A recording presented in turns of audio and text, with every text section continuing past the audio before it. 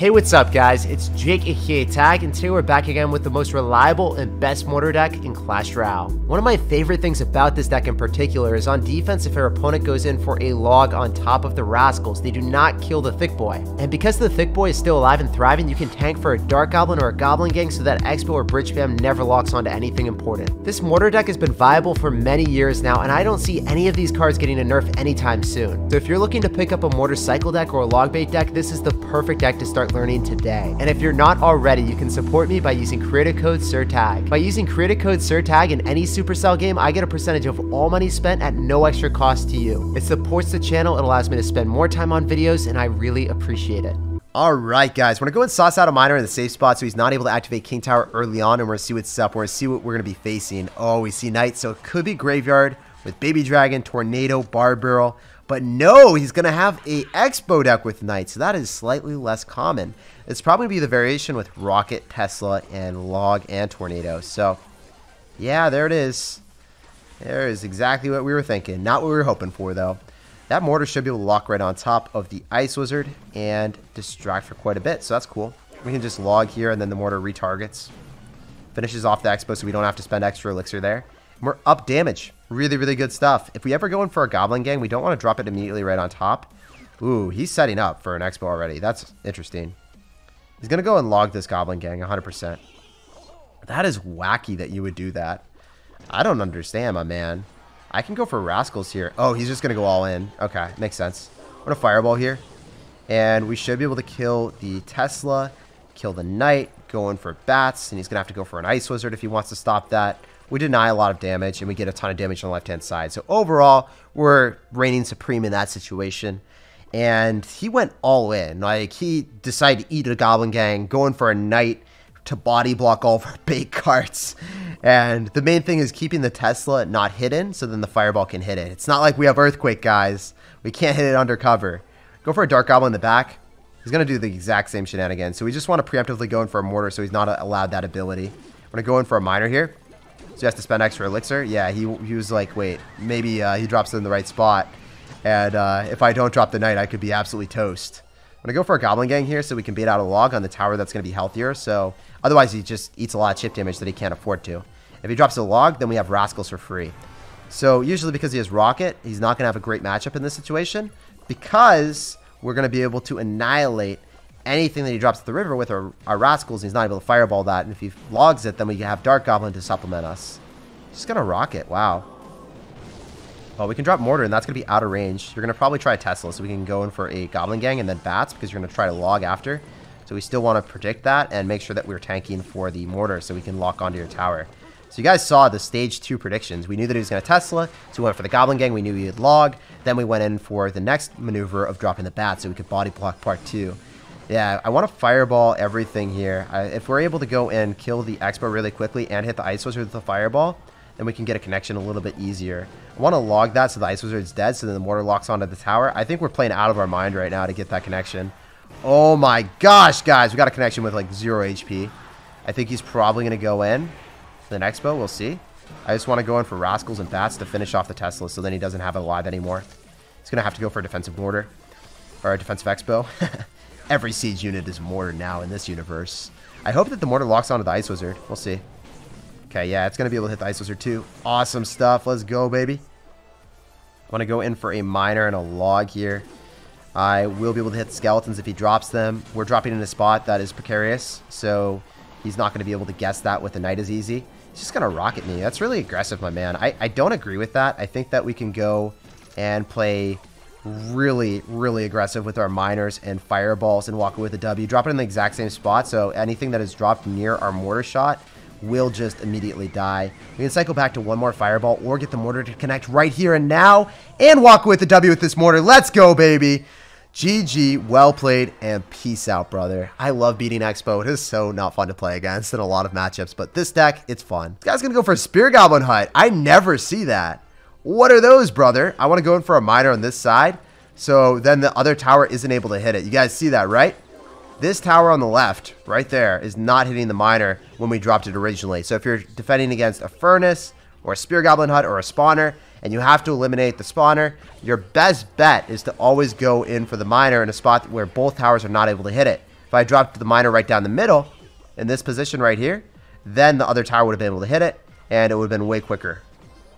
Go for bats here. And since we see poison, I'm already assuming that this is going to be a graveyard deck. I want to fireball that Electro Wizard, so maybe the bats are going to be able to kill it, so I don't have to spend any extra elixir. Yeah, this is great. So he's going to graveyard. We'll see if he wants to poison. He's going to log, so then no skeletons accumulate on us. We should be able to shut it down with ease now at this point. Okay, so you always want to go opposite lane of the graveyard player. That is the number one thing that you gotta do. Graveyards and single elixir should be punished. So we're trying to go for mortar separate lane of this. So then he has to spend elixir here and here. It's just too much elixir for him to spend. So we're going to get guaranteed damage on both sides. And then he freaked out. he's like, wait, the mortar's locked on. But then also that. So, uh, yeah, he, uh, he had to deal with a, a, separate split push. And that's why it's not always best to counter push with the Thick Boy and the Rascals when you want to go and trade opposite lane anyway and want to make your opponent to spend way more elixir than they were traditionally would anyway. So, yeah, we got him to spend more elixir. We spread him thin, and he dropped a Spear Goblin Hut. He's dropped guards and delayed more time that he wasn't able to go in for a graveyard. And now his counter push, everything that he defends with, is going into the side that he doesn't have his damage. So that's really bad for him. He could poison this too, and if he poisons, that means he can't graveyard. He can't graveyard for another four cards until he's back to poison. So I am free to play passive and safe right now, and I don't have to care because usually in most situations when they uh, have a spot where they have poison, you have to play aggressive so then they can't go for a graveyard because they will graveyard you inevitably. But if they can't graveyard me, I can play passive, I can chill, I can relax, I can do whatever I want in this game. So I can go in for miners, and I can get at 10 elixir. It's a-okay. So I want him to poison this again. I really do, because we're gradually getting better elixir trades than him. The, the one thing that is bad for us is if he graveyards me. One thing I don't want to see. Oh, really good fireball value. Let's snag that hit both the spear goblins. We want to go in for a dart goblin here, so we're going to be able to kill the Pekka as quickly as possible. We go for a miner, so then he has to spend elixir on that, and then maybe he doesn't go in for a graveyard. So we're trying to keep him at a very low elixir threshold. So we're just going to keep up the aggression here.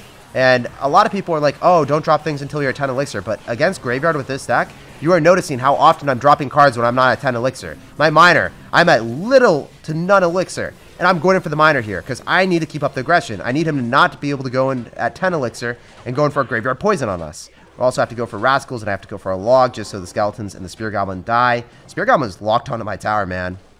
I'm going to go in for a gang gang. I can go in for bats here just to eliminate the mega minion. He's going to go for electro that we don't have to worry about because it's damaging the other tower. That doesn't matter. We're going to miner in the back. He's actually going to go for a spear goblin hut and predict it. Wow. That was insanely well played on his end. We want to go for a fireball here just to get more chip, and we need to cycle back to another fireball. He's probably going to drop something at the river, so we're going to try to body block it. He's going to go in for a graveyard and immediately poison. We got to go in for a gang gang. We got to go in for just a log and bats, I believe, and then we should be fine. Uh, yeah, if we drop the bats here and then the, the poison runs out and we kill the skeletons, we're fine. Yeah, you just had to time it, so then the skeletons were going to die to the bats, and the poison does not hit the bats if you time it just in the last tick. GG and well played, man. Very good timing for us with those bats, and we were able to finish off the two skeletons, so he wasn't able to get us into range that he would be able to log us. GG, and well played, man. We're gonna go for a miner to open up this game. We're gonna see what's up, we're gonna see what's good. This guy is gonna go in for a Mega Minion, so as soon as we see that, we're gonna think it's gonna be a beatdown deck, whether it's gonna be a Golem deck or a Giant deck. They usually have multiple spells, so it's our best interest to go in for a Goblin Gang split so we don't give him too much value. Then we can follow up with a Bat Surround on the Baby Dragon. And this dude is going to go for a Lightning on a Dart Goblin? What the heck, my man? Okay, this is really good because we're able to go for a Mortar, pull back the Mega Minion and the Baby Dragon so he doesn't get that much value with it. And then, of course, he has to go in for a Night Witch, which he misses and allows the Mortar to connect to the tower with. So he is down a lot of Elixir. And by a lot, I mean a considerable three or four right now. So we can go for a Miner. And this will be difficult for him to defend because he's not going to be able to stop everything. Yeah, look at that, man. Two hits from Thick Boy. And now we can go in for a Goblin Gang. He's going to try to go in for more spam. This guy is so savage. He is so aggressive. So incredibly feisty here. He's going to go in for a Zap as well, but we can shut it all down, have the Dart Goblin finish off the Baby Dragon without any damage on our tower. And we get great counter push too, because that's going to get damage unless he responds to it. That's going to get like five hits, dude. And that is 600 damage around. Oh my gosh. That is crazy, crazy stuff, man. Well, not 600. It was 400, but you know. I can have dreams. I can have aspirations. We can go for a log here. We'll see what he does. He's probably going to go for a golem. Yep. Golem as we anticipated. So when they go for Golem, and you know that they have a tendency to Lightning, your best bet is just to go for your Mortar, going for your Rascals off to the side, and any cards that they support their Golem with, go right into the Rascals. You want to separate them as quickly as possible. So we'll see what he does. See if he wants to spam with it. I think he might just Lightning. He's going to try to get chip damage with the Lightning, and that's generally not a good decision. It's a lot of Elixir to cast. We can Miner and go in for Bats here. Going for a Mortar on offense in the other lane if we want. We want to separate all of his uh, all of his Elixir, right? So he just dropped a Zap. He dropped Guards. That's going to be 5 Elixir that he can't support here. And we can go for a Miner. We can go for a Dart Goblin. We can go for Goblin Gang.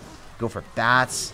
That mortar is definitely going to lock onto the tower, and we should be able to cycle back to another one. So I'm very happy about this. Oh, it's not going to lock onto the tower immediately. It's going to wait for the uh, the Mega Minion to get close, but still really, really good for us. I can go for a Bats around here and finish off the Baby Dragon. As long as the Baby Dragon dies, we're in a great spot. I need to go in for a Gang Gang. And we're going to go and cycle our Mortar early. We're going to try to cycle back to two of them, as I said before. It's really important to try to do that. If I Fireball or drop Rascals, that's cool because then the Bats will die really quickly. And uh, yeah, we'll just be able to stop this. If I knock the Golem away so it doesn't get death damage on our tower, that's ideal. And we can start to go in for a Mortar. We can go for a Miner. He's going to spend Elixir to try to stop this Mortar. Obviously, we can go and pull back his Mini P.E.K.K.A here and get the connection with our Mortar, I believe. And yeah, it's going to be a lot of value for us if the Mortar connects to the tower, which it should. He's going to go for a Zap, so he's really committed to this defense. He is so committed. If we're able to get the mortar to connect to the tower again, we will be able to walk away with a victory. Cycle in our fireball so we can get back to it a little bit quicker before our log. And yeah, we just need one more fireball and we will win the game. He's going to lightning. It doesn't matter. GG, well played, and peace out, dude. So yeah, in mortars on defense is really, really clutch. Not going opposite lane with the mortar. So this guy's going to go in for a bandit and an ice golem. So I'm thinking this guy might actually have a bridge spam deck. Or he could have a three musketeer deck with royal hogs. So it's going to be one or the other. Maybe the bandit might... Okay, the bandit's not going to give him any extra value. We're fine. See if he gives us fireball value here. Or nah. Go for bats off to the side so then our Dart Goblin doesn't get pulverized immediately. Go for a Miner. And I think we want to go for Rascals. So yeah, it's going to be Royal Hogs, Three Musketeers from the looks of things. It's going to have Zap as well. So yeah, this is definitely going to be the variation that I love playing. He spent a lot of Elixir. We can go for a Mortar, and we still have Rascals. He doesn't have any way of killing those, right? He's going to Bomb Tower. That's fine. That's totally acceptable. Because you're not able to kill the Rascals with that. And you're going to have to spend even more Elixir with a uh, Magic Archer. And then the Thick Boy is getting targeted, so then the Rascals lock onto your tower. And that's just an all-around great Elixir trade for me. So I can log, and then I can go for Bats, and I can get chip damage that way.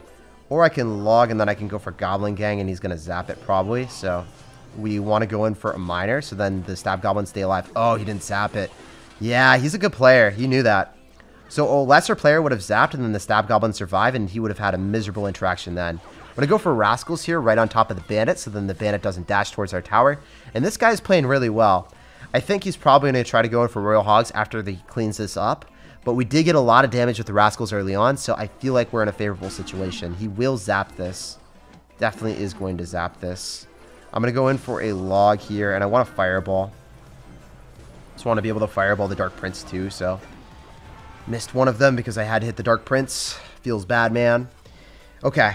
We're not in the best spot anymore, but he doesn't have a big spell, so I can go in for a mortar here, and I can stack mortars. So even if you find yourself in a pretty bad situation, if they don't have a big spell, you can just stack mortars and be a-okay. So I'll show you guys how it's done.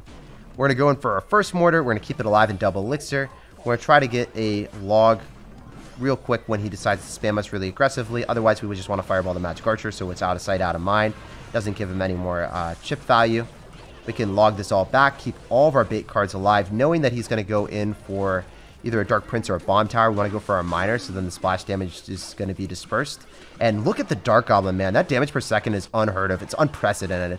That's why I like Dart Goblin opposed to Spear Goblins. You guys were wondering, hey, why do you run Dart Goblin over Spear Goblins? That was your answer. It evaporated everything he dropped in a matter of seconds. And as a result, we were able to come through and take a tower in a situation that we otherwise would not be able to make happen, man. We wouldn't have been able to win this game if uh, we didn't have this exact deck. We're going to fireball right here, get the miner right on top of the tower.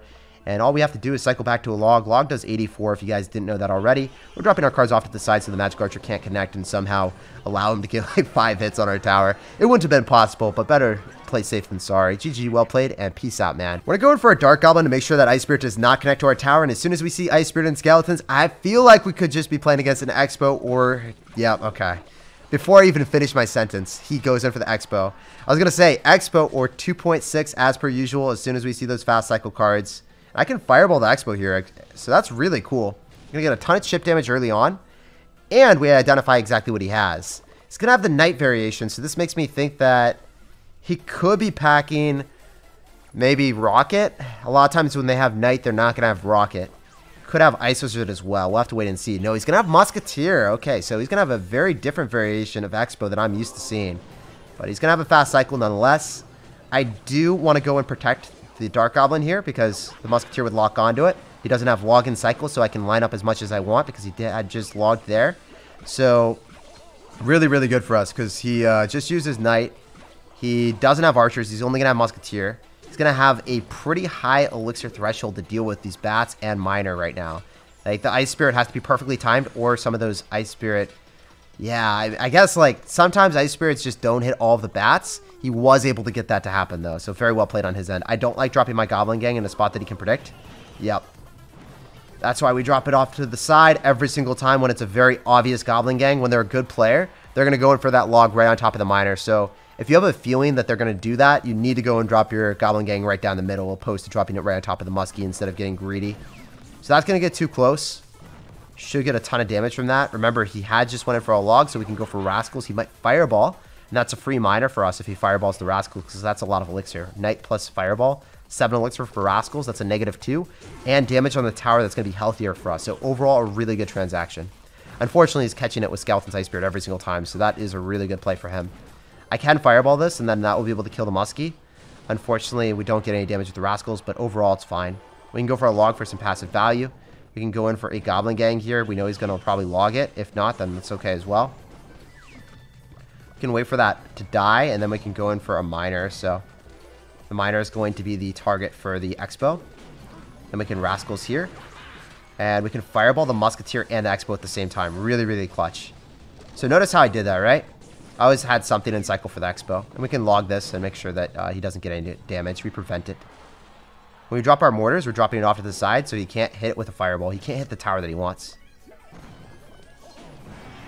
He's going to log this, but then the Dart Goblin locks on, so we're fine. Dart Goblin's going to put that in vicinity that we don't have to worry about anymore. Then we can Miner and Bats. Using Dart Goblin on defense against X-Bow just so useful, man. A lot of times they aren't able to log it in time, and if they do log it, then their Rascals are going to give you way too much value. Can Fireball for more chip damage. We know what he's going to do, right? He's going to have to go in for an X-Bow hot and heavy here, and if our Mortars is able to defend, we'll walk with a W. GG, well played. We cycle to a Fireball and capture the win.